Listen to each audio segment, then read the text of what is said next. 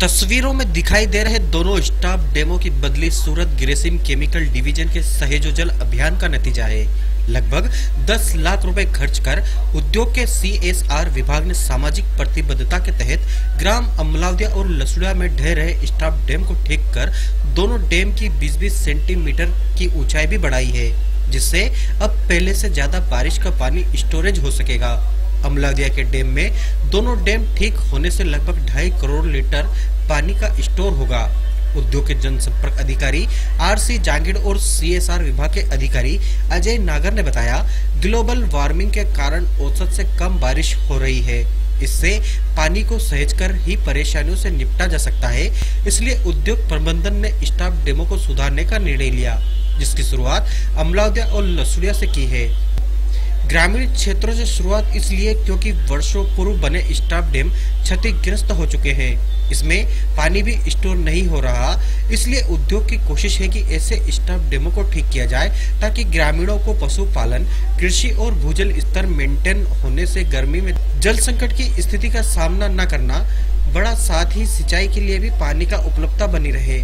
उद्योग ने। इसके लिए डैम निर्माण की विशेषज्ञ कंपनी एक्सेस डेवलपमेंट के साथ सहेजा जल अभियान शुरू किया है। अमलावदिया में स्टाफ डैम ठीक होने से एक करोड़ चौवालीस लाख लीटर और लसुड़िया में इठहत्तर लाख लीटर पानी स्टोर हो सकेगा। इससे पिछहत्तर हेक्टेयर भूमि की सिंचाई हो सकेगी। Unit head Prem Tiwari R H head Arun Pandey ने बताया, उद्योग पहले ही पानी बचाने के लिए ज़ीरो डिस्चार्ज प्लांट स्थापित कर चुका है। इससे उत्पादन प्रक्रिया में पानी को उपचारित कर दोबारा उपयोग किया जा रहा है। अभी स, पहले तो क्या था?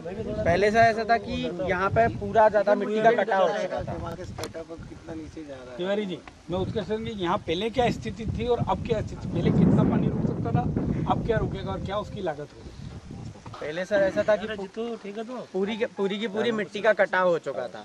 जितनी भी यहाँ पे आप देख रहे हैं ये जो स्लैब है इसकी पूरी मिट्टी कट चुकी थी पीछे यहाँ पे जो बंड हमने बनाई है अभी नई ये बंड भी नहीं थी।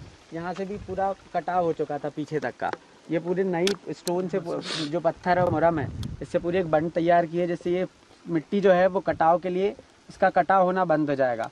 दूसरी चीज़ 20 सेंटीमीटर हाइट हमने स्ट्रक्चर की इंक्रीज करी है बढ़ाई है जिससे थोड़ा सा स्टोरेज और 20 सेंटीमीटर इंक्रीज करी है। टोटल दो मीटर हाइट डैम की बना कर दी गई है जिससे सात सात हज़ार आठ सौ क्यूबिक मीटर वाटर स्टोरेज हो जाएगा अब। पहले कितना इन लीटर्स में वैसे ये पूरा टूटा हुआ था। पहले तो पूरा टूटा हुआ था पानी रोकता नहीं था। रोकते भी थे तो मिट्टी के द्वारा रोका जाता था लकड़ी और मिट्टी का तो उतना स्टोरेज नहीं मिल पाता था हमें। तकरीबन तीन हज़ार के लग तीन साढ़े तीन हज़ार क्यूबिक मीटर स्टोरेज था। क्योंकि पानी बह जाता था रोक नहीं पाता था। अभी हम अगर इसके अब जो है हमने जो शटर लगाए हैं और दो ट्वेंटी सेंटीमीटर इंक्रीज करने के बाद हाइट सात हज़ार सात हज़ार आठ सौ क्यूबिक मीटर का स्टोरेज मिलेगा। इन litres seven seventy eight lakh litres पानी जो है यहाँ पे स्टोरेज रहेगा। ये जब पानी का ज़्यादा बहाव होगा तो ये बट टूटेगा नहीं?